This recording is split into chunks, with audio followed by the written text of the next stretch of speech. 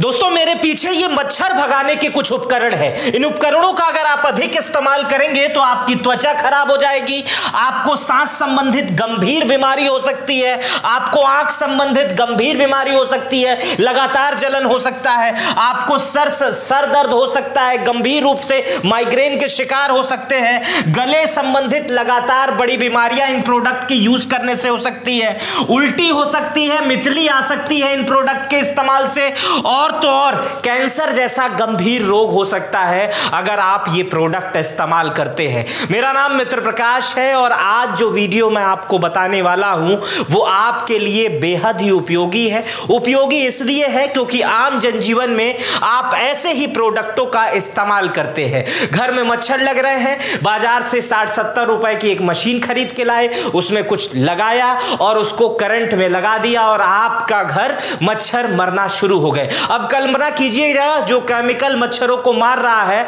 वो कहीं ना कहीं आपके नाक में भी जा रहा होगा। तो जिससे किसी की मृत्यु हो सकती है, उससे आपका फ़ायदा तो नहीं होगा। इसलिए मैंने सोचा कि इस विषय पर आपको जागरूक किया जाए। आप क्या करें, क्या ना करें, इस वीडियो को देखकर आप आसानी से समझ सकते हैं और अपने दोस्तों को भी ये वीडियो आगे भेज सकते हैं। तो दोस्तों, देर ना करते हुए चलिए शुरू करते हैं। इन सारे प्रोडक्टों को आप पहचान रहे होंगे।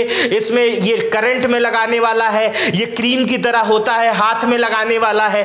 इसको माचिस की सहायता से आप जला सकते हैं। इसको करंट या किसी गर्म चीज़ पे रख कर धुआँ उठाया जाता है। ये सारे प्रोडक्ट आपने कभी ना कभी अपने दैनिक जीवन में इस्तेमाल किए होंगे। राजीव दीक्षित को आप जानते होंगे। आयुर्वेद से संबंधित बहुत बड़ी जानकार है। काफ़ी बड़े रिसर्चर थे। वर्तमान समय में दुनिया में नहीं है। लेकिन ये क्या कहते हैं इस विषय को लेकर मैं आपको समझाने की कोशिश करता हूँ। ये कहते हैं कि राजीव दीक्षित कहते हैं कि हम लोग मच्छर मारने वाला क्वाइल, टिकिया, अगरबत्ती, लिक्विड इस्तेमाल करते हैं, जो केमिकल से बनाया जाता है। इसमें डी एथिलीन मेलोक्वीन, फॉक्समी फॉक्सविक फॉक्सकिन, माफ़ कीजिएगा, गलती से इधर उधर हो जाता हूँ, और तीन खराब चीज़ें, इन तमाम चीज़ों में खराब चीज़ें मिलकर बनाई जाती है। और ये तीनों केमिकल यूरोप, अमेरिका के लगभग छप्पन देशों में बैन है पिछले 20 सालों से। छप्पन देशों में बैन है है। 20 सालों से ये तीन खतरनाक केमिकल मिलाए जाते हैं। जो इस केमिकल संबंधित विद्यार्थी होंगे, उन तीन केमिकलों को आसानी से समझते होंगे। और इसमें मैं आपको बता देता हूँ, ये ये कहते हैं कि हम अपने छोटे बच्चों के पास ये केमिकल जला के छोड़ देते हैं। शोध बताते हैं ये मच्छर बनाने वाली दवाएँ जो होती हैं, शुरुआत में मच्छर का अंत करती हैं और धीरे धीरे मनुष्य को मार देती हैं। इसमें एक भी शब्द मेरे नहीं है, ये शब्द राजीव दीक्षित जी ने कहे हैं। अब इस विषय पर विज्ञान क्या कहता है, आइए मैं विज्ञान की भाषा में आपको थोड़ा समझाता हूँ। विज्ञान में सिडनी यूनिवर्सिटी के शोध में जो बात निकली है, उसमें यह है सिडनी यूनिवर्सिटी के शोध में कहा गया है विशेषज्ञों के अनुसार कि इसमें सिट्रोनेला मिलाया जाता है जो मच्छरों जिससे मच्छर दूर भागते हैं। दूसरा इसमें कीटनाशक होते हैं जो मच्छरों को मार देता है। ये जो क्वाइल होता है, स्टिक पहले पाइथेरियम पोस्ट से बनाए जाते थे, जबकि आधुनिक में ये पाइथा, पाइर पायरेथ्राइड कीटनाशक जिसमें सिट्रोनॉल जैसे पदार्थ होते हैं, ये दोनों मनुष्य के शरीर के लिए नुकसानदायक होते हैं। अब समझने की कोशिश कीजिएगा। अध्ययन के अनुसार मॉस्किटो कॉइल से निकलने वाला धुआँ हमारे शरीर के लिए सिगरेट जितना नुकसानदायक होता है, शोध बताते हैं कि एक कॉयल द्वारा छोड़ा गया धुआँ पचास सिगरेट पीने के बराबर होता है। अब समझिएगा, पिक्चर हॉल जैसी जगहों पर या तमाम जगहों पर आपने ये वाला एड तो देखा ही होगा, जिसमें सिगरेट पीना कितना स्वास्थ्य के लिए हानिकारक है। और हर जगह लिखा रहता है कि सिगरेट ना पिए, पब्लिक प्लेस पे सिगरेट ना पिए, ये तमाम चीज़ें। लेकिन एक क्वाइल मच्छर वाला जो आप देखते हैं, जो गोल गोल गोल गोल घूमता रहता है जलेबी की तरह, उसे हम अपने बच्चों के बगल में, जो नवजात होते हैं, दो, एक, दो साल के होते हैं, उसके बगल में या अपने परिवार के बगल में जला के छोड़ देते हैं। सोचिए, एक मच्छर का क्वाइल पचास सिगरेट के धुएँ जितना बराबर नुकसान करता है। और मैं समझाता हूँ आपको इससे कितना दिक्कत हो, ऐसा नहीं है कि मैं सिर्फ़ यही बता रहा हूँ। आप इसका उपयोग कैसे करें, कैसे ना करें, वो भी बताऊँगा। चलिए, कंपनियों के निर्देश क्या कहते हैं? अब ये कंपनियाँ जो बनाती हैं दोस्तों, ये कंपनियाँ जो बनाती हैं, वो क्या कहती हैं कि भैया इसका इस्तेमाल कैसे करो? जो पीछे बहुत छोटा छोटा लिखा रहता है। कंपनियाँ कहती हैं जो मॉस्किटो वाली दवाएँ होती हैं, उसका इस्तेमाल केवल आवश्यकता अनुसार करें। बच्चों की दूर से पहुँच से दूर रखें। ये कंपनियाँ कह रही हैं, मैं नहीं कह रहा हूँ। बच्चों के दूर के पहुँच से रखें। और हमारा क्या है, घर में बच्चे घूम रहे हैं, वहाँ कछुआ छाप अगरबत्ती चल रही है और एकदम उसमें धुआँ आ रहा है और उस पूरा वातावरण जो है, वो महका हुआ है और उसमें धुआँ धुआँ हो रहा है। लेकिन कंपनियाँ कह रही हैं कि बच्चों से दूर रखा जाए। मॉस्किटो रिप्लेंट जो होते हैं, उनको आँख, मुँह और खुले घावों के संपर्क में ना आने दे।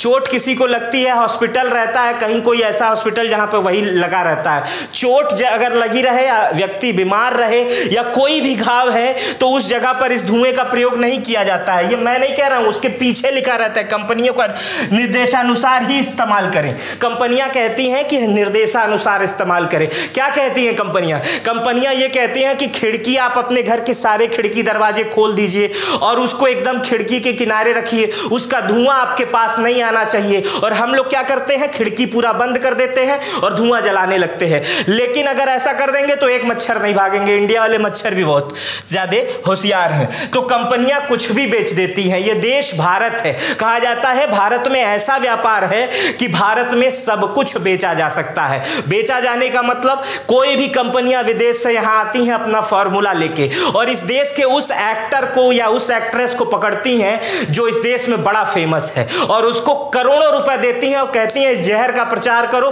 ताकि ये घर घर में जा सके। अब सोचिए, गुटखा कंपनियाँ कितने बड़े बड़े महानायक से लेकर अमिताभ बच्चन से लेकर वो शाहरुख खान अक्षय कुमार और अजय देवगन सबको शामिल कर दिए दो रुपए का गुटखा बेचते हैं। क्या आपको कल्पना कर सकते हैं, ये लोग वो गुटखा खाते होंगे?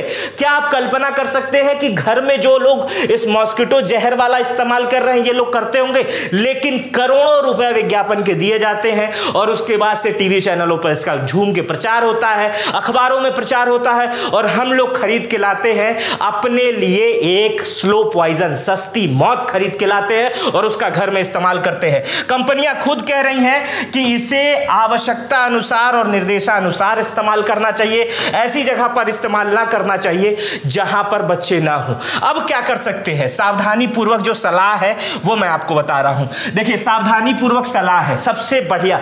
आप मॉस्किटो कोयल कितने का खरीदते होंगे? सौ रुपए, डेढ़ सौ रुपए का?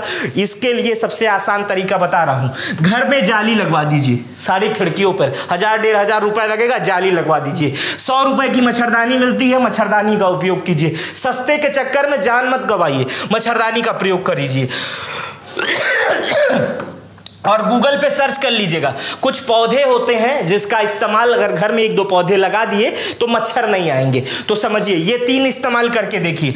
अब मच्छर से बचने के लिए ऐसा नहीं है कि कोयल अभी आया है। अभी आया तो अभी आया है ना। बहुत मच्छर तो पता नहीं कितने वर्षों पहले से है। तो मच्छर का जब इस्तेमाल मच्छर है तो यानी मच्छर को भगाने के लिए उपाय भी पहले हुआ करता था। तो मच्छर को पहले के लोग कैसे भगाते थे?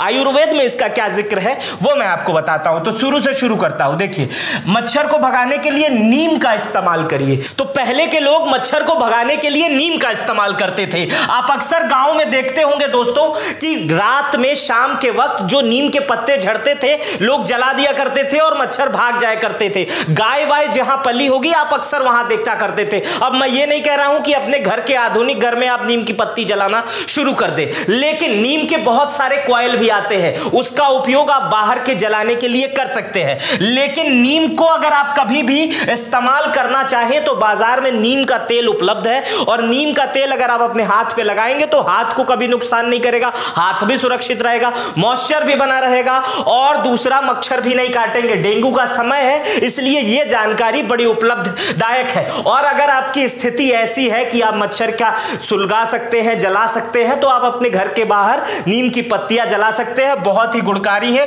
और हल्दी का उपयोग भी एंटीवायरक इसमें भी एंटीवायरल गुण होता है और ये बैक्टीरियल गुण होता है, माफ़ कीजिएगा एंटीवायरल भी गुण होता है और हल्दी के पानी उबाल करके अगर आप स्नान करेंगे, जब भी आप नहाए तो उस पानी में अगर हल्दी डाल ले तो आपके शरीर पे जो पानी का एक स्ट्रक्चर बनेगा, वो किसी भी कीट पतंगे को अपने आक्रमण से बचाने के लिए बचेगा। शायद ये जानकारी आपके पास होगी, अगर नहीं होगी तो मैं बताता हूँ। नहाने से पहले अगर एक चम्मच अगर हल्दी लगा मिलाते हैं, अगर पानी में डालते हैं तो उसका जो स्ट्रक्चर बनेगा शरीर पे, एक पानी वाला आवरण बनता है ना तौलिया को पोछने के बाद तो शरीर में से हल्दी के महक बदबू तो करेगा, माना नीम बदबू करता है, हल्दी नहीं बदबू करेगा, और अगर वो उस पर कोई कीड़ा बैठता वो अपने आप दूर हो जाएगा। सोचिए, वो कितना गुणकारी है, लोगों को ये बताया नहीं जाता है। गूगल का उपयोग करते हैं कुछ लोग गूगल भी मच्छर भगाने में काम आता है। गूगल का धूप जलाने से मच्छर आसपास नहीं आते हैं, नीम का पत्तियाँ पीसकर उसको शरीर पे लगाने से नहीं आते हैं, और तो और लहसुन के इस्तेमाल से भी मच्छर को दूर भगाया जा सकता है। लहसुन को कलियों को चबाने से या लहसुन का बार बार उपयोग करने से भी मच्छर दूर भागते हैं। ऐसी बदबू या खुशबू से मच्छर दूर भागते हैं जो प्रकृति ने हमें दे रखी है, जिसका उपयोग हम बहुत करते हैं, जैसे नीम, हल्दी और लहसुन। ये सारी चीज़ें अगर अधिक है तो मच्छर वहाँ आएँगे नहीं। गाँव में अगर आप, गाँव के होंगे तो आपको पता होगा, जिन एरियो में लहसुन टांगा रहता है, उस प्याज टांगा रहता है, उस जगह पे मच्छर नहीं रहते हैं।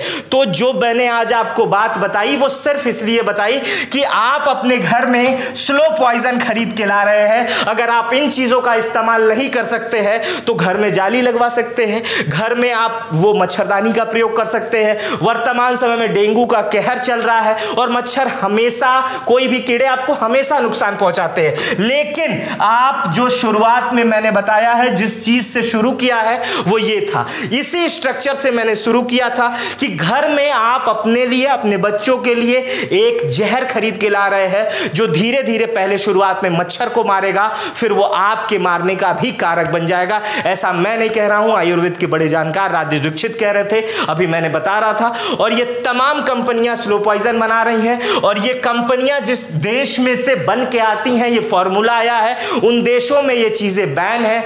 यूरोप और अमेरिका के पचहत्तर, छप्पन देशों में ये चीज़ें पिछले 20 सालों से बंद है। वहाँ के लोग मच्छर के लिए इन सब किसी भी क्वाइल सिस्टम का उपयोग नहीं करते हैं। मच्छरदानी, सफ़ाई और जाली तीन चीज़ों का ही प्रयोग करते हैं। अगर ये तीन चीज़ें रहेंगी तो मच्छर नहीं आएँगे। मेरा नाम मित्र प्रकाश है। ये जानकारी आपको कैसे लगी, मुझे कमेंट बॉक्स में बताइएगा।